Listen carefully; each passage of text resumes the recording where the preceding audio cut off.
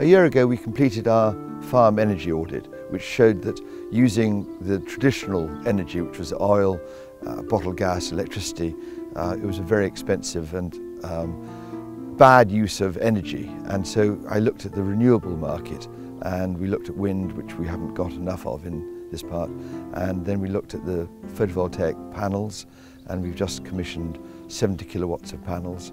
And now the, the latest investment is the biomass boiler, which is a 200 kilowatt biomass boiler using wood chip, which we are growing on the farm um, and pr producing ourselves. So ultimately we should be very nearly energy neutral. Hope that's the target for the future. Currently we're just commissioning our biomass um, boiler, which is a 200 kilowatt wood chip boiler, and that's working through a district heating main, uh, supplying the farmhouse, a couple of flats, cottages, um, the farm um, units we let out and a conference centre with underfloor heating. And it looks as though, as things are at the moment, it's going to be providing all of the hot water and, and the heat for those buildings.